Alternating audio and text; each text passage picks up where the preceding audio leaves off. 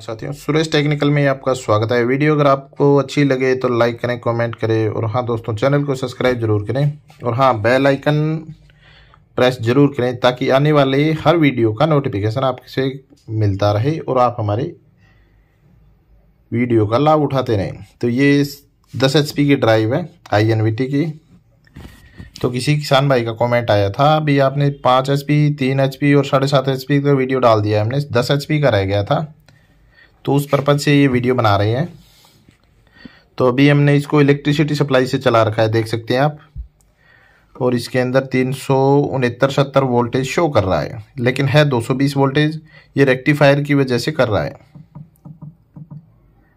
अभी हम आपको इसकी बेसिक प्रोग्रामिंग के बारे में जानकारी देंगे। अगर आपको ड्राइव के अंदर कोई दिक्कत आती है तो आप हमें कॉल कर सकते हैं। आपसे कोई चार्जेज नहीं लिए जाएँगे। फ्री ऑफ़ कॉस्ट आपकी सहायता की जाएगी। क्योंकि कुछ डीलर वगैरह या कुछ वीडियो बनाने वाले आपसे वीडियो के लिए तो बोल देते हैं, लेकिन जब भी आप उनको कॉल करते हैं तो वो बड़ी बड़ी अमाउंट मांगते हैं आपसे चार्जेस लेते हैं। लेकिन अपने, हम ऐसा नहीं करेंगे फ्री ऑफ़ कॉस्ट रहेगा। तो अभी आते हैं वीडियो पे।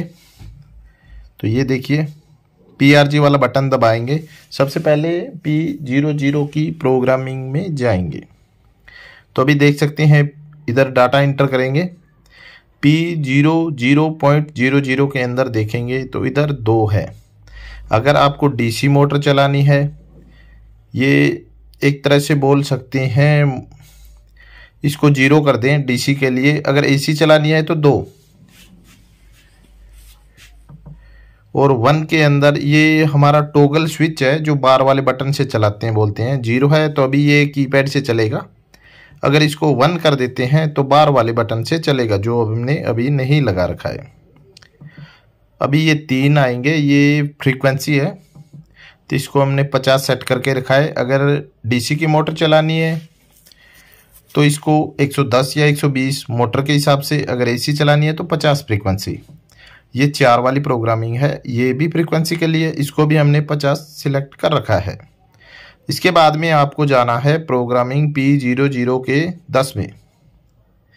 दस में यहाँ पे देखेंगे कितना है, ये दस शो कर रहा है तो इसको भी हमें पचास कर देना है। ये डिस्प्ले जो बार शो करेगा ना, वो फ्रीक्वेंसी है। ग्यारह ये मोटर स्टार्ट होने का टाइम है, बीस सेकेंड लेगी, जो आपने पचास फ्रीक्वेंसी सेट कर रखी है उस हिसाब से। और बारह के अंदर होगा, ये मोटर बंद करेंगे तो बीस सेकंड का टाइम लेगी। तुरंत झटके के साथ बंद नहीं होगी धीरे धीरे बंद होगी, ताकि आपकी मोटर जले न। आपका कोई नुकसान न हो। इस प्रकार ये पी ज़ीरो ज़ीरो के तेरह प्रोग्रामिंग है। ये रिवर्स और फॉरवर्ड के लिए, आगे और पीछे चलाने के लिए, ताकि बाहर से वायर न चेंज करने पड़े। एक कर देंगे तो ये देखिए इंडिकेशन शो हो गया है। ये रिवर्स हो गया है, एक करने पे। तो अभी हम जाएँगे पी ज़ीरो दो के प्रोग्रामिंग में। पी ज़ीरो दो मोटर के बेसिक प्रोग्रामिंग होते हैं। ये देखिए पी ज़ीरो दो के ज़ीरो ज़ीरो में ज़ीरो कर रखा है।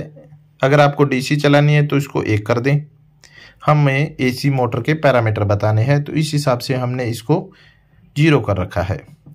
अभी पी ज़ीरो दो के वन में जाएँगे तो वहाँ पे आएगा किलोवाट ये 10 एच की मोटर के पैरामीटर है 7.5 किलोवाट।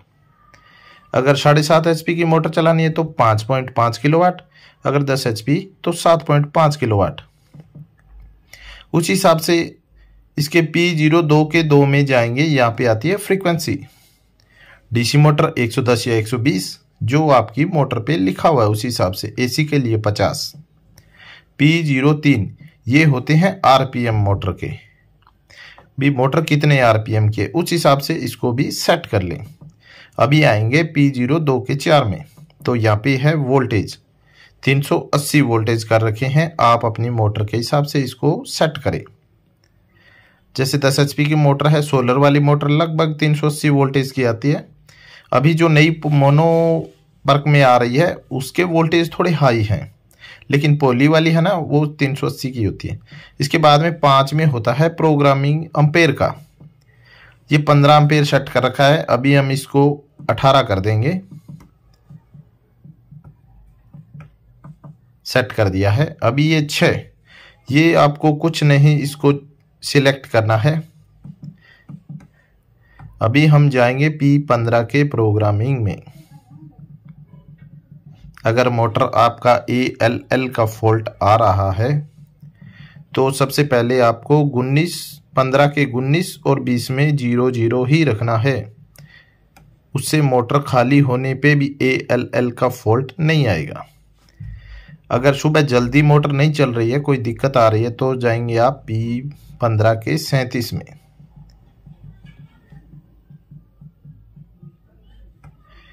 इसको सेट करेंगे। 240 होगा, वहाँ पे इसको आप 140 भी कर सकते हैं।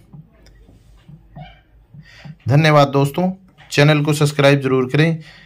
और अगर आपको किसी अन्य टॉपिक पे वीडियो चाहिए तो आप हमें कमेंट कर सकते हैं। किसी भी कंट्रोलर का हम आपको वीडियो बना के देंगे।